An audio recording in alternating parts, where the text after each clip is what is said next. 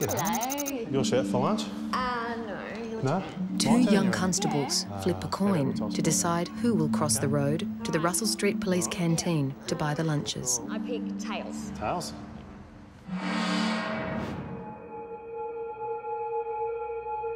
Neither would know how high the stakes would be.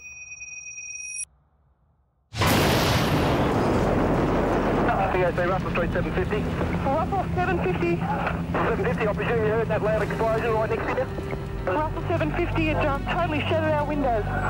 Russell Street 306, loud explosions that took place outside the front of the complex. There's mess everywhere. Roger that, Russell Street 306. All units approach with caution just in case there's a second.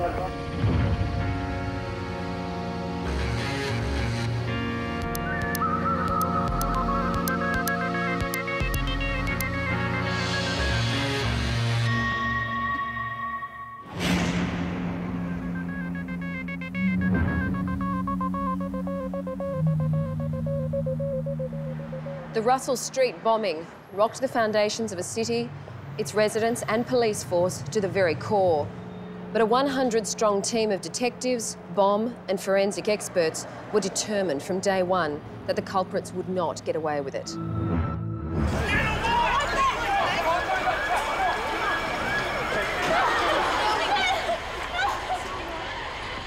West Side, stand by. Unit calling urgent. Southern 507, we have people with injuries north of the complex. We require ambulance, please. I was heading to get some lunch from the Russell Street complex when it, uh, went off. I was thrown into the air probably about 20 metres and landed on the, uh, on the road and uh, laying flat on my back.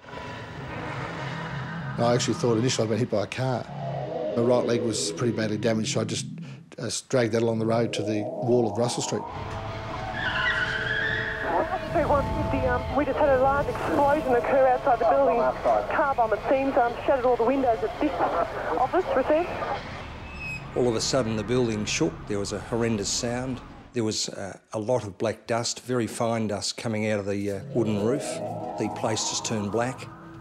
glass came across my desk. I got up, had a look outside the broken windows, and there was this huge pour of black smoke going up the front. It was just obvious what had happened. There was no doubt whatsoever in my mind that it was a bomb. Russell 150 from the uh, ranking fire officer. He believes it is a device, it is not gas. Big bang, window started to crack, and, and off we went. That was the start of it all. And I just said, look, I'll get the bomb suit and let's go. And the whole feeling is that there's another bomb. 150 Roger. Bomb disposal people uh, have been sighted. The first bang is not the last bang, is what I got taught by the military guys in Northern Ireland. The first bang was to suck you in, and the second bang was when it killed you. From Air 490, two cars were involved, one outside the north door, one outside the south door. The one outside the south door was suspected of holding the second bomb. And I start to walk down Russell Street towards the car. I had a rope round my waist so that if anything does happen to me, that he's got the rope to pull me back. You then see things on the road. I can see bits of explosion, detonators and whatever.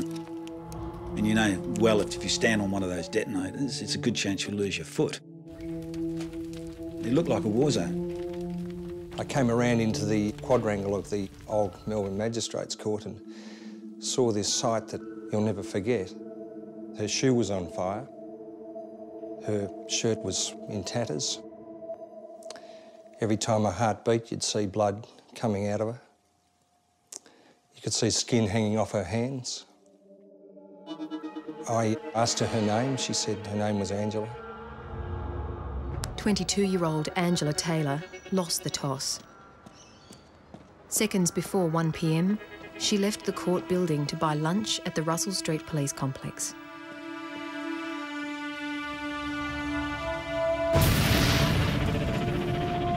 I sat her down on the floor in the office. She was obviously visibly in pain and shocked and disorientated. I made some calls, so I was able to get her some help. Magistrate West was out the front and he was injured as well. Donadio, over the road. Got to the wall, and then there was a couple of other police members that came and helped me at that stage, and uh, they walked me up to the steps of the north door and laid me down there. And there's still a couple of small explosions. There's been a second explosion unit. Stay away from the area.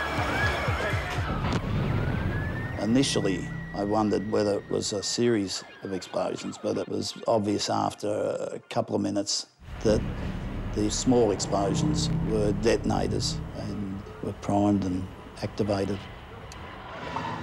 Meanwhile, Dennis Tipping had reached the second car that was parked behind the one that had exploded. The firemen didn't want to do it, and it's not their job anyhow, because it was gelignite and other stuff there. And if there is a bomb, then you're going to have to start pulling it apart. So I put the fire out, and thankfully there wasn't another bomb. And it turned out to be an undercover police car. After 40 minutes, the fires were extinguished, the city sealed off, and 21 people, including the severely injured Constables Taylor and Donadio, were in hospital. Good evening. Terrorism hit Melbourne today. Bomb after bomb exploded outside the city's police headquarters, injuring dozens and causing extensive damage. Buildings from Bourke Street to Queensberry Street were evacuated, shops closed, and by 2.30 many city streets were deserted. What's happened this afternoon puts us right in the forefront of terrorism, as we've seen in other parts of the world. And it's disturbing that we've got cowardly people that could only be described as curs that are prepared to impose this sort of violence on the community with little regard for life or property. There was no doubt whatsoever in my mind that it was a, an attack on the police force and on authority in general. And it worked. Police are checking the list of people who were to appear in the Melbourne Magistrates Court opposite the police station. But no individual or group has yet claimed responsibility. What is certain is that such an attack against the police force itself will result in an investigation for the culprits as thorough and widespread as Victoria has ever seen. The thin blue line gathers together. All you want to do is find out who is it, where are they, and let's go and get them.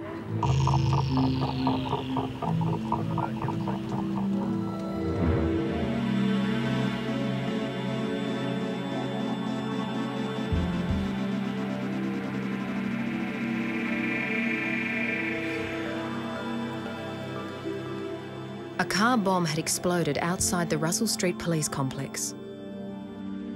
21 people were injured. Constable Angela Taylor was fighting for her life. The clue as to who was responsible lay in the debris that had scattered over several city blocks. And with the danger of live ammunition, the Special Operations Group were moved in. And we became the brushes and dustbins and, and the finders of evidence. I think from memory, we, we were there for nearly five days. Looking south along the corridor.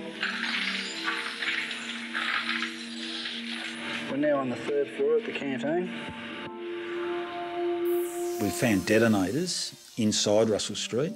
We found a live detonator in the ladies' gymnasium up on the uh, fourth floor.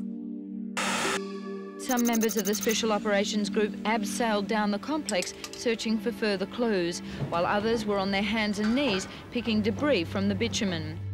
They found a tyre, I think, and a wheel from the bomb car in the car park at the back of Russell Street. So it's literally flown over Russell Street, over the building at the back of Russell Street into the car park. Every piece was important. Like a large jigsaw puzzle, each piece of debris would give the forensic team a picture of what had gone on. It's important to collect all the debris because we need to reconstruct what took place. We were able to identify that the bomb car actually uh, ended up several metres away from the actual seat of the explosion because there was a crater in the roadway and the bomb car was uh, several metres further to the east. And as you can see, it's approximately 15 centimetres deep at its deepest point, and the width is of the order of one and a half metres. When we started to look at the, uh, the bomb car, Most of the damage was done to the rear of the vehicle, which seemed to indicate that the bomb had been placed in the boot of the vehicle. That's where the tow bar's gone in, and that's just forward of it where the diff would be. And that smells of differential oil on one side and explosive on the other. Ah, so it's got to be that wide. So the diff might then explosive being just over the diff and in front of the diff. On further examination, we were able to identify that there was a secondary explosion between the front seats or on the centre console. The secondary explosion had been disrupted by the first one being the larger one in the boot. And this was identified by the amount of live detonators and a number of uh, sticks of gelignite were located forward of the vehicle and hadn't exploded. You wonder what would have happened if all of it had gone off. It might have brought down part of the building. A huge amount of electrical wire, still bound in bundles, were also found around the car. So too, the ignition device.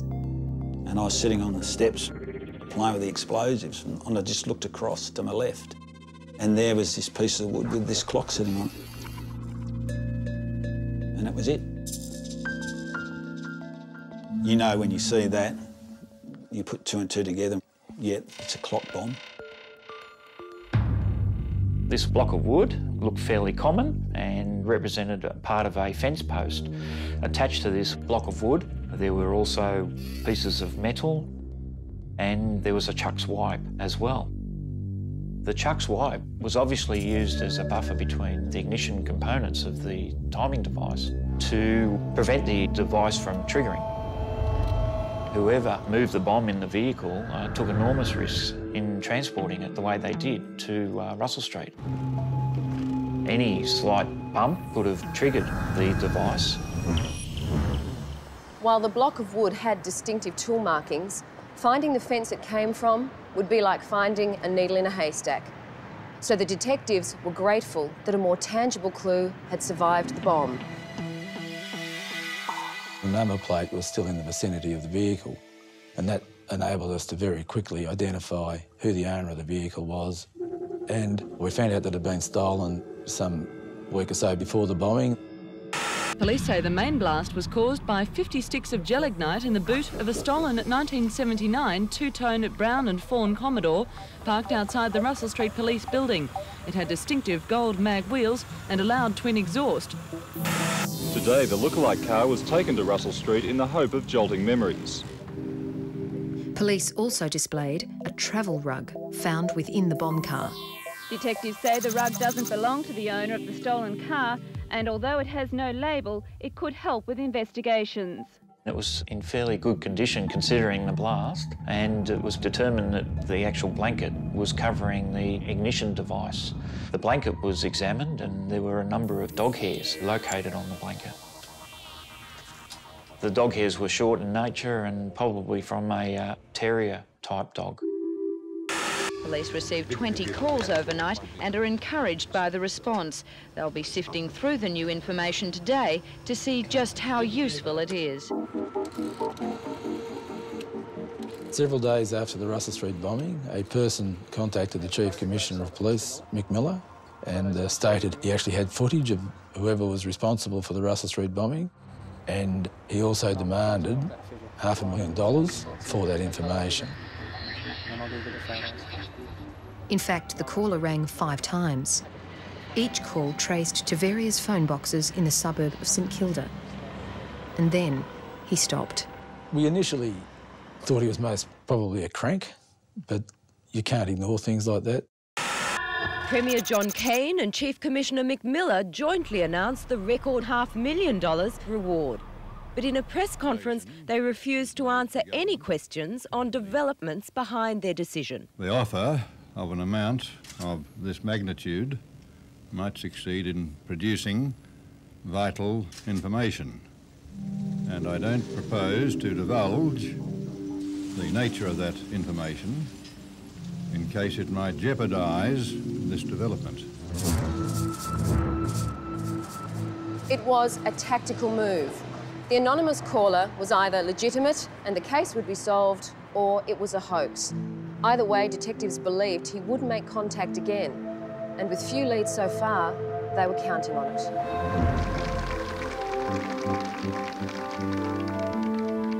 It was now three weeks since the bombing, and 22-year-old Angela Taylor, who had graduated dux of her year, was still in hospital in a critical condition.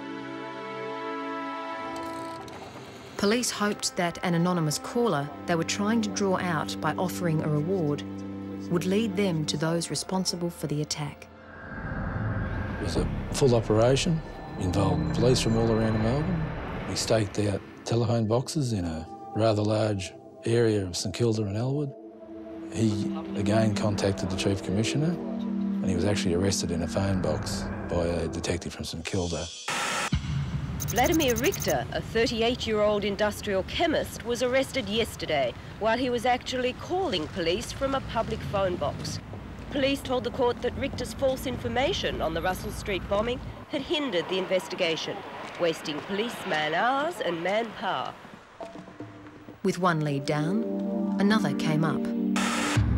This black and white photo fit was compiled from information supplied by a witness who claimed to have seen the man park the car outside Russell Street at about 12.30 on the day. This identikit photograph looked very similar to a low-level criminal by the name of Claudio Crupi. And information came to hand from potential witnesses that on the day of the bombing, Crupi was seen wrapping up what was believed to be gelignite. He had a particular dislike for a detective at the Major Crime Squad, and he was certainly known to be capable of violence. We conducted a number of search warrants in an effort to locate Claudio Crupi. Um, all were unsuccessful. He left Melbourne very quickly and he was avoiding apprehension, so of course um, he became the major focus of the investigation. As police searched for this prime suspect, a separate and unrelated inquiry had brought two officers from the Stolen Motor Vehicle Squad to the police compound where the bomb car was located. Approximately three weeks before the Russell Street bombing, a stolen red Daimler sedan was pursued by traffic police. The car crashed and the driver escaped. We got contacted by St Albans CIB to come out because in the boot of that red Daimler was a bag containing cut up pieces of number plates. And they were identified as belonging to a stolen silver Brock Special. So I put a notification on our police database that if the vehicle was ever found, then I was to be contacted immediately. And that's what happened. Whilst we were waiting for the delivery of the Brock Commodore to come out to our compound so we could examine that, we actually uh, sticky nosed a little bit and uh, walked over and had a look at the Russell Street bomb car. And when we looked at the vehicle, we noticed that the chassis number had been drilled out. Normally what would happen is they would use an angle grinder to drill it. It takes longer time to cut them out, so that's unusual. We'd never seen that method before. I mean, for someone to drill the chassis number out is, in our opinion, strange. Meanwhile, the police had caught up with Claudio Crupi. 29-year-old Claudio David Crupi was taken before Chief Stipendiary Magistrate John Dugan. His counsel said his client was not only willing to be questioned, but also agreed to take part in a lineup. He said Crupi denied his participation in the bombing. Crupi is now back in the Russell Street Police Complex, the scene of the bombing almost three weeks ago, and is still being questioned. Out at the police compound, the stolen Commodore had arrived. The investigation into the bombing of the Russell Street complex was to take another turn, and as a result, give police another suspect. When the Silver Brock Commodore Special came in, when we lifted the bonnet, we also noticed that the chassis number on that vehicle had been drilled out. And it was the identical method that was used on the other vehicle that was sitting in the compound, virtually 50 feet from it. So to see two vehicles with the chassis number drilled out was, in our opinion, extremely unique. And it occurred to me that the offender involved in the Brock Special and the Daimler may well have been involved in the Russell Street bombing.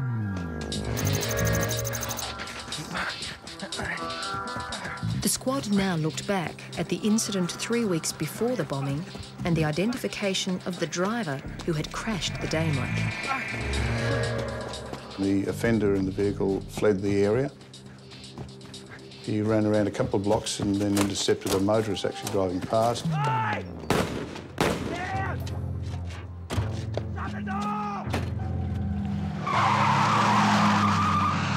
But the police officer who had been chasing the Daimler had caught sight of him. He was showing a series of photographs and identified a person known as Peter Reed. Peter Reed was known to the motor vehicle squad in relation to other offences. He was currently being investigated and members of his family were being investigated in relation to stolen motor vehicles. The suspicion was that Peter Reed had been involved in what's known as rebirthing. Rebirthing is where someone buys a wreck, they steal a similar car, they put the wreck's identification onto the stolen car and re-register the stolen car as a new car. When we observed the Russell Street bomb car with the drill outs on it, and then we seen the other vehicle, uh, it was virtually a complete match. So we had two cars from allegedly two different sources and they had the identical modus operandi. Peter Reed was seemingly connected to both these cars. But did that make Reed the Russell Street bomber? Or now, the murderer? More than 1,000 people gathered at the Glen Waverley Police Academy to pay tribute to the young policewoman variously described as vibrant, brilliant and forthright. Mourners included bomb victims Magistrate Ian West and Constable Carl Donadio. It was pretty upsetting. I recall the funeral pretty vividly. But it was good to go there and pay my respects to Angela. Outside the chapel, 500 police and emergency services personnel lined the route as the cortege made its way to the Springvale crematorium for a private cremation. There is a destiny that makes us brothers. None goes this way alone. We were determined at the start that we were going to see it through to the finish, and her death just strengthened that resolve, I think it's fair to say. The police had two lines of inquiry. The first was a clear favourite. Claudio Crupi had been seen making a bomb on the very morning Russell Street had been targeted. Lord Crupi was still the major focus of the investigation. The Silver Brock special line of inquiry was probably the second strongest line of inquiry we were following. The Silver Brock inquiry involved suspected car rebirther Peter Reed. But what flagged him as a person of interest in the Russell Street bombing was the fact that the silver Brock Commodore had identical drill outs to those found in the bomb car.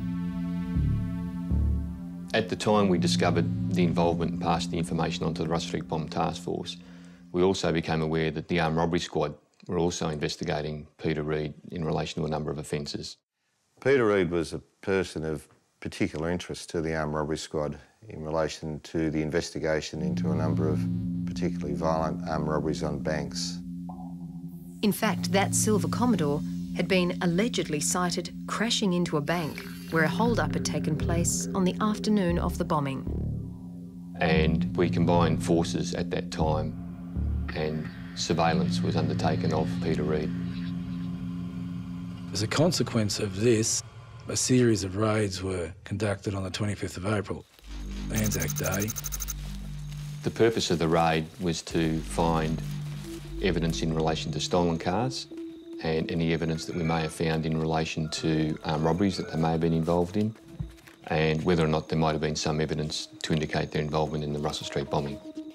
A number of the crew went to a bedroom on my right. I went to the bedroom on the left with Mark Wiley. I turned on the light. On the far wall was a complete window, which when you turn the light on, turned into a mirror. And you can actually see Peter Reed on the bed in his underwear. I've moved in and sort of gone around to get vision at the edge of the door. He was in a combat position and he had a 45 caliber revolver in his hand and he was pointing it directly at me. That area is called the Tunnel of Death when you're doing raids.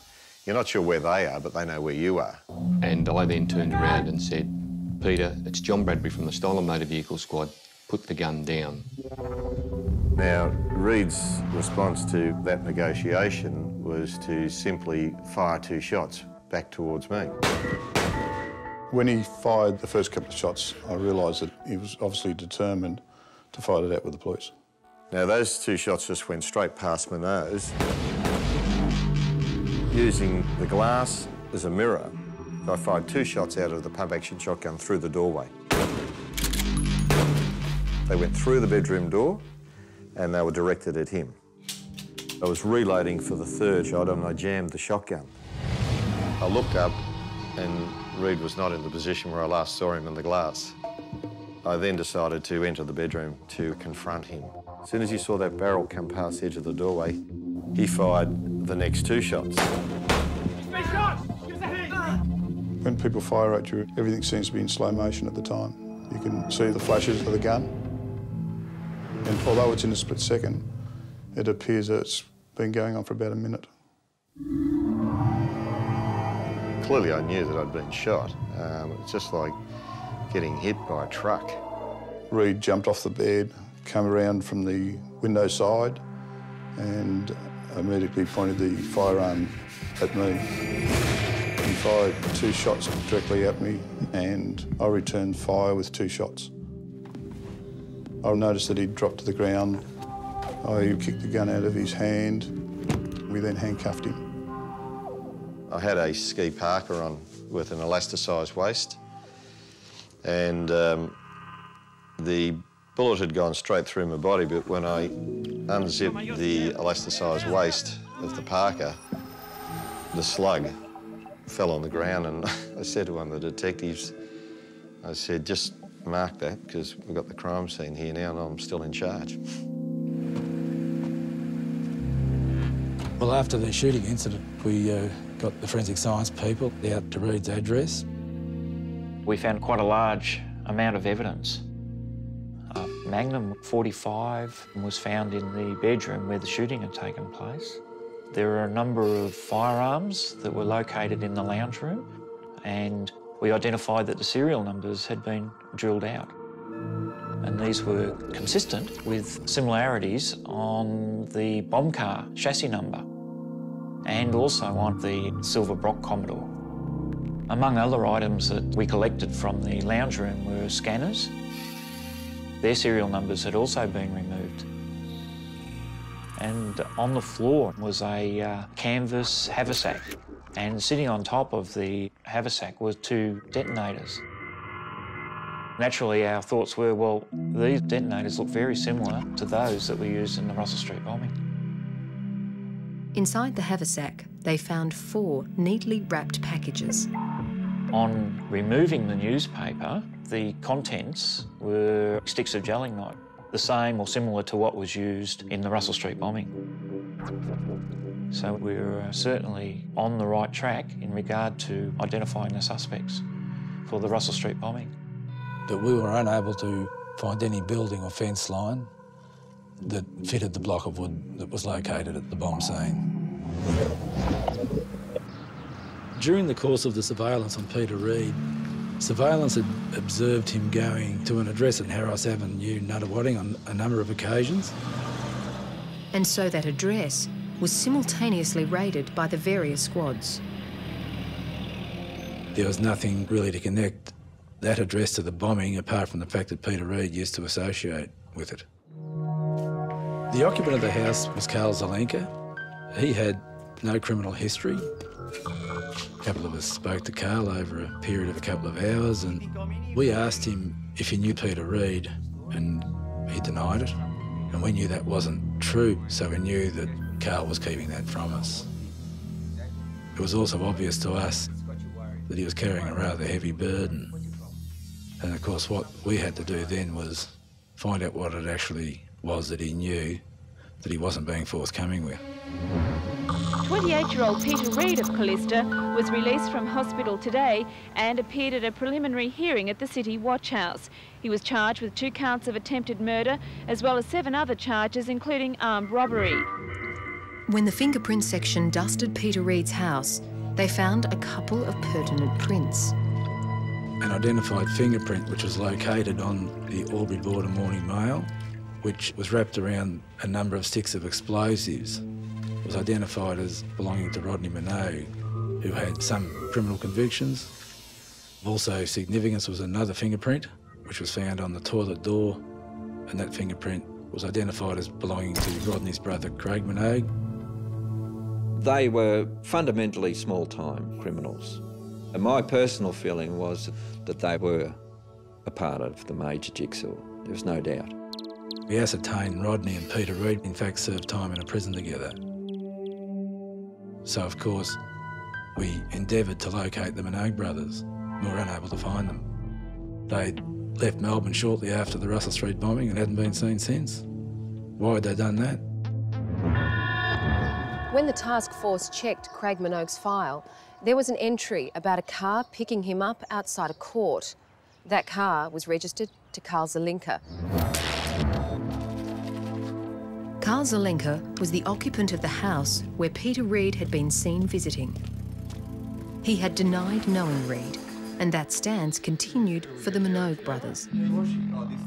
We knew that Zelenka knew Craig and Rodney Minogue because we showed photographs of the Minogues to neighbours and they identified them as associating at that address.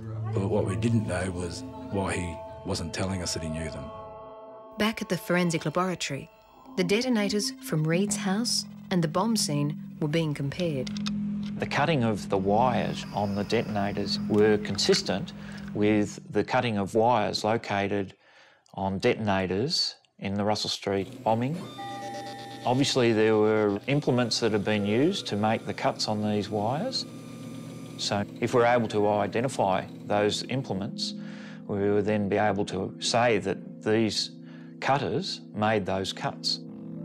What had been identified was the origin of the metal bar that had been nailed to the block of wood found at the bomb scene.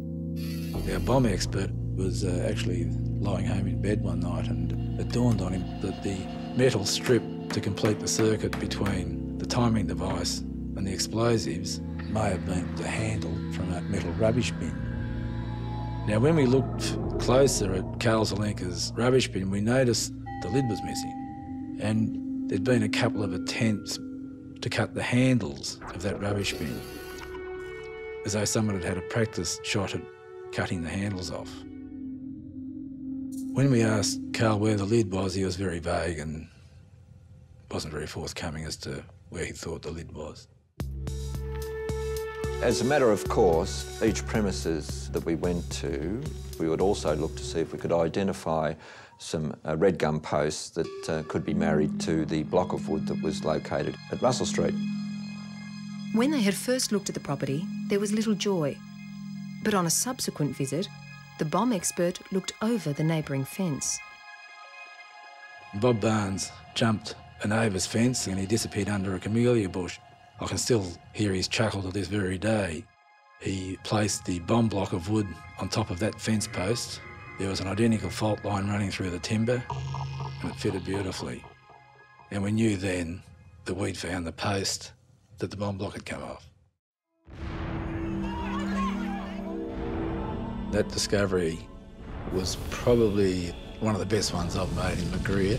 And we were actually ecstatic that, that we'd located that post. It was very important to us. From that point on, the task force really regarded that address as being the bomb headquarters, where the bomb was most probably put together. You say your mates.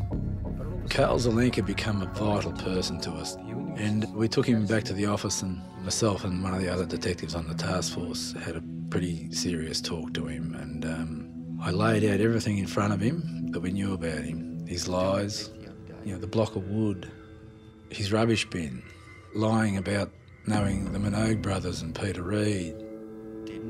And we actually told him, like, you know, you look at it from our point of view, what would you think? And uh, he knew that he was in it up to his neck. He said, I'll tell you everything I know, but I want you to guarantee my safety and that of my family and my girlfriend. Karl told us that Craig Minogue and Rodney Minogue were living at the house and that Peter Reed used to come to the address.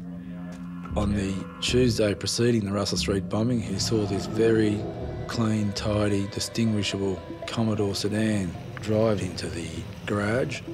It was a two-tone brown fawn coloured vehicle, had beautiful mag wheels, and of course was identical to the vehicle which had been blown up outside Russell Street. On another occasion, he'd had cause to go to the garage where he identified what appeared to be a box of explosives. He confronted Craig Minogue about that. Craig said to him, forget what you saw, you didn't see anything. Craig Minogue had paid for Karl and his girlfriend to fly to Sydney for Easter while the bombing took place. When he returned, the brothers were moving out. And he was instructed to get rid of the lid of his rubbish bin. It was tossed on the back of a trailer which was going down the tip.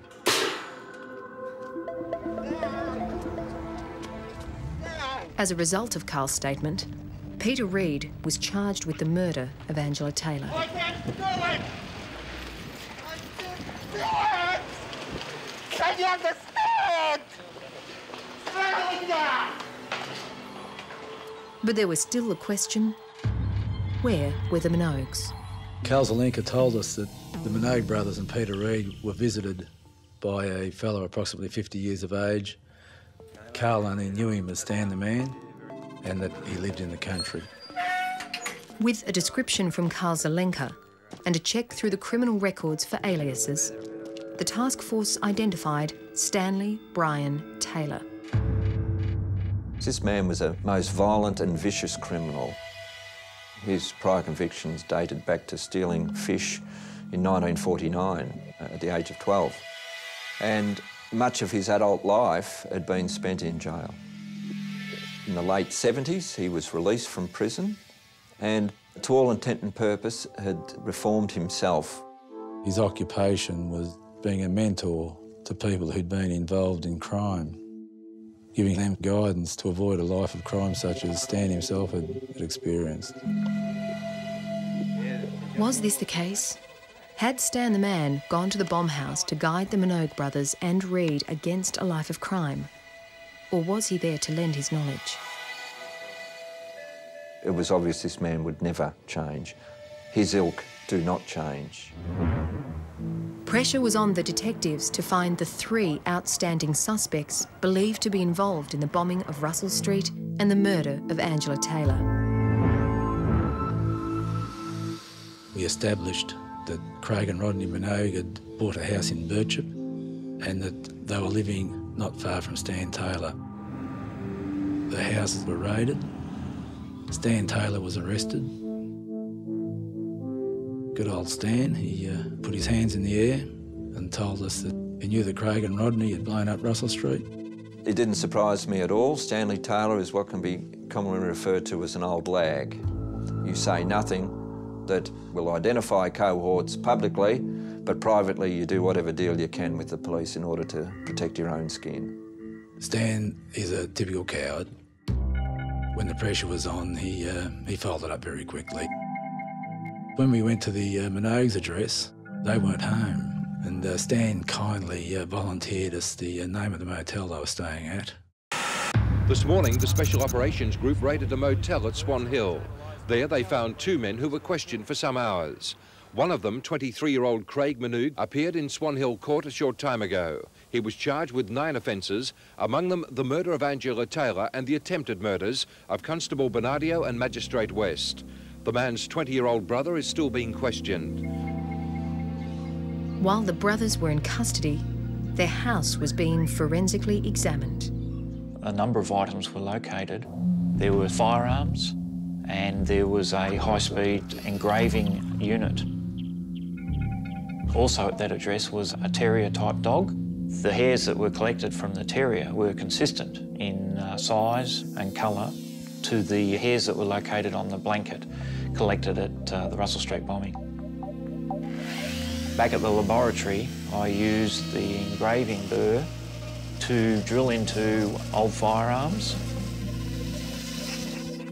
and then casting the base of the actual engraving burr, I was able to conclude that the patterning of all of the serial numbers that have been drilled out were consistent.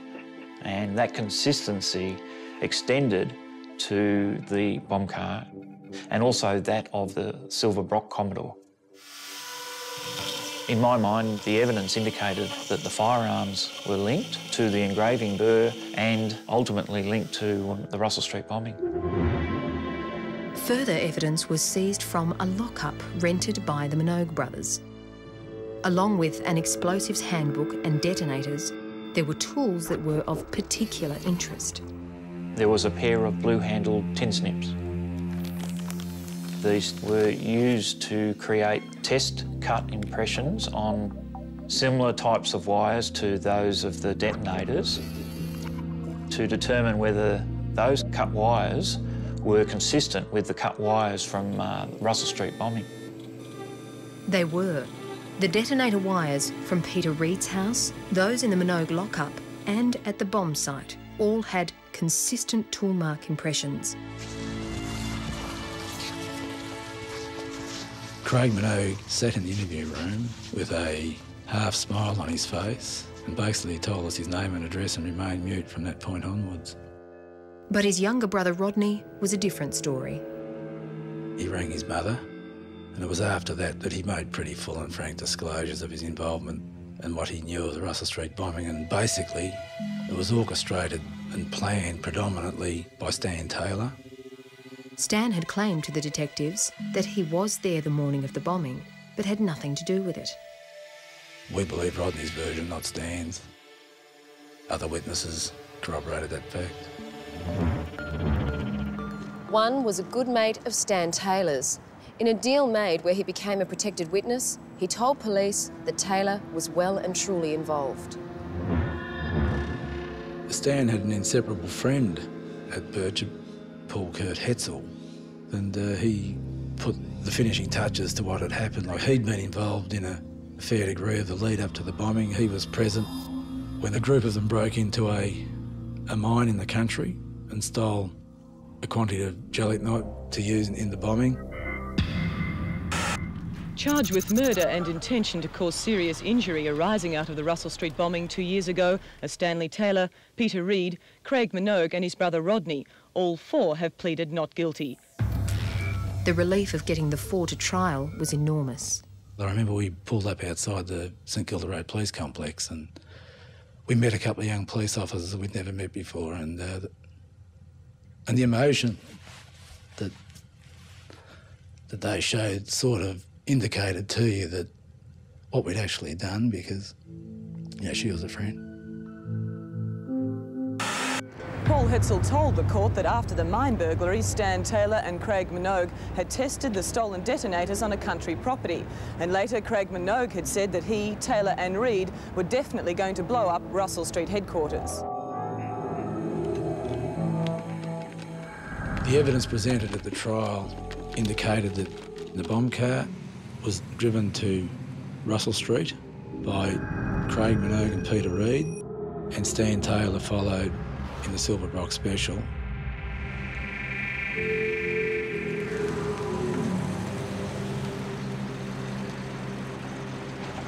The car was then parked outside the southern door of the Russell Street Police Complex. The Chux wipe removed and the bomb was set.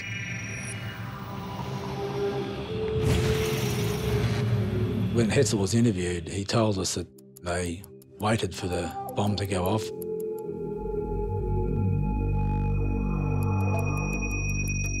One o'clock arrived, they were a little bit concerned that they may not have set it correctly. When it eventually detonated, there was a, a fair degree of, of joy in the car. So we were quietly confident we had sufficient evidence to convict the main players in it. Stanley Taylor, Peter Reed, Craig Minogue and his brother Rodney arrived at the Supreme Court again this morning to await verdict, but not before letting their feelings known as they entered the court.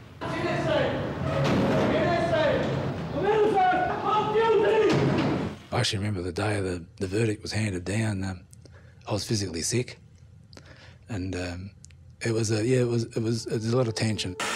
The jury found Stanley Taylor and Craig Minogue both guilty of the murder of Constable Angela Taylor, guilty of causing serious injury to Constable Carl Donadio and Magistrate Ian West, and guilty of several other serious charges. So I thought, now you know that you're going to pay for what you did.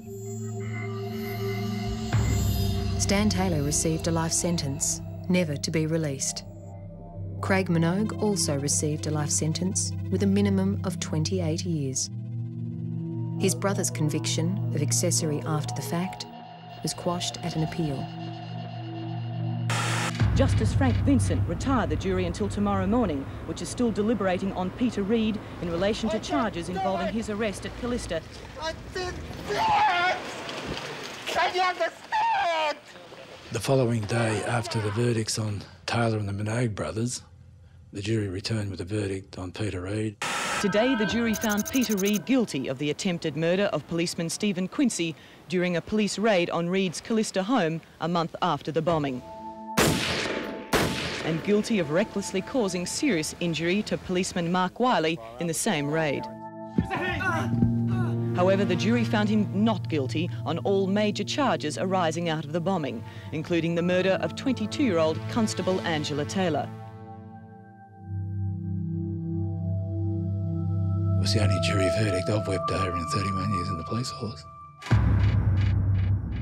What can you say? You know, was, we, were, we were disappointed, very disappointed, and um, still disappointed. After serving nine years, Peter Reed was released from jail in 1995.